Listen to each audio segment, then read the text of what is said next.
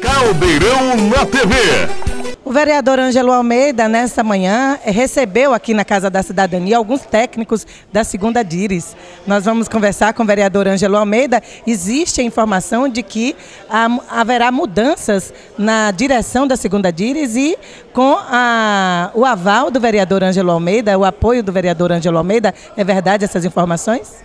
É, como é de conhecimento de todos, o governo é, vem ultimamente intensificando as rodadas de relação com os partidos e com é, os candidatos que foram, disputaram o pleito e ajudaram o governador a se reeleger governador.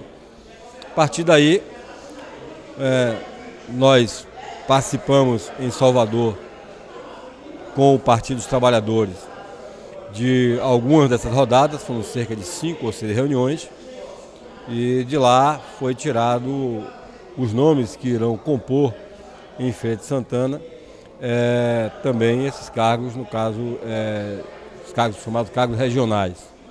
Nós, é, como fomos do Partido dos Trabalhadores, o segundo deputado, o segundo candidato mais votado a deputado estadual, tivemos direito à indicação e, na nossa pedida, caiu a Dires e nós recebemos, inclusive, que hoje eu quero confirmar, com quatro membros é, do corpo técnico da, da segunda DIRES, Feira de Santana, que vieram para um diálogo, para uma conversa.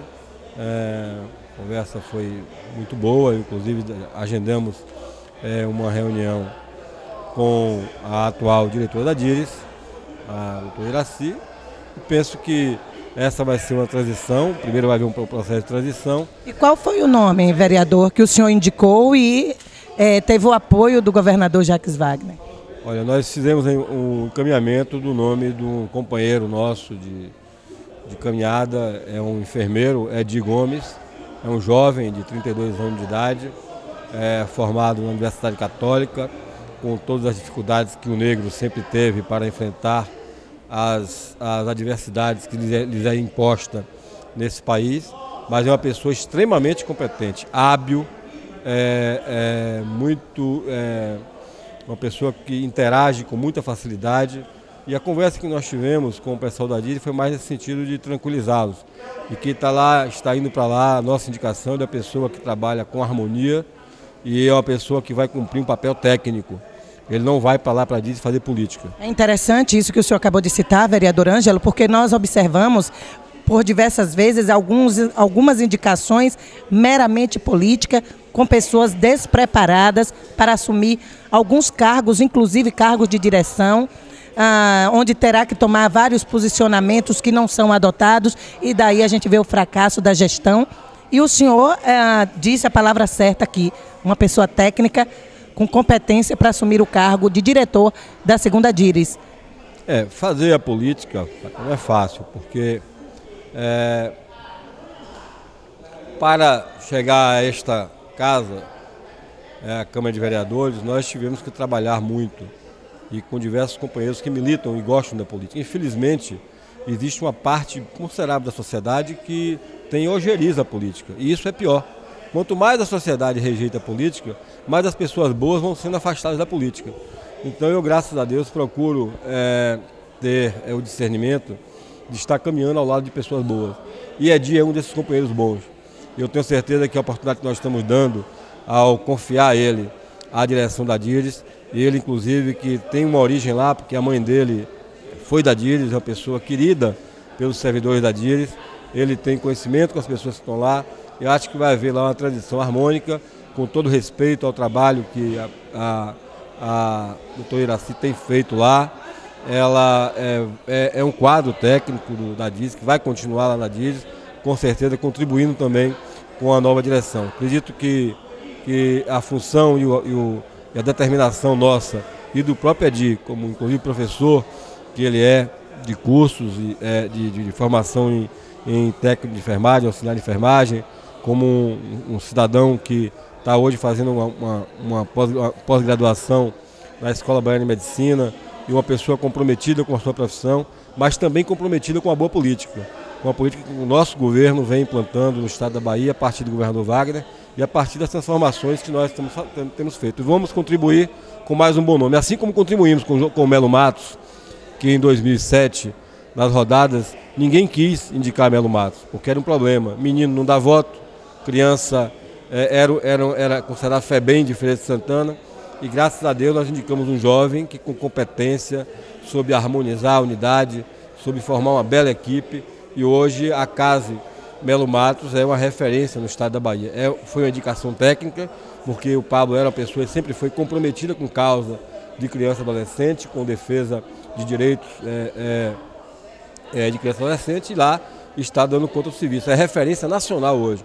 Esse mesmo desejo é que nós temos para nosso companheiro Edir, para que ele vá para a e harmonicamente possa também ser uma, uma referência a nível de Estado com relação à aplicação de saúde pública. Vereador Ângelo, essa indicação, esse apoio é, do governador, a sua indicação demonstra é, a, é, os méritos que o senhor tem, na verdade, que, como o senhor já disse, foi o segundo deputado mais votado pelo PT, o segundo candidato, e também, é, é, vereador Ângelo Almeida, esse apoio mostra que o senhor está realmente ligado ao governo do Estado, como demonstra aí o sua estrelinha do PT.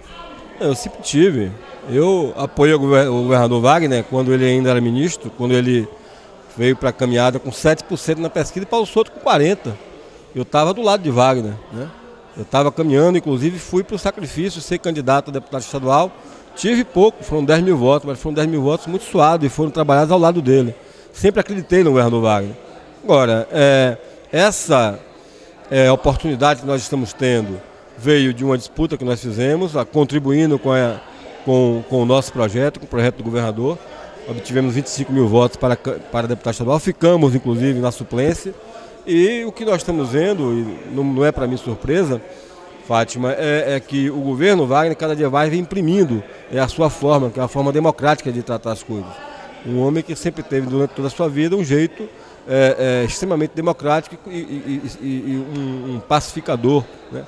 Eu acredito que o, o governador Wagner tem um espírito é, é, o DNA do agregador e do aglutinador.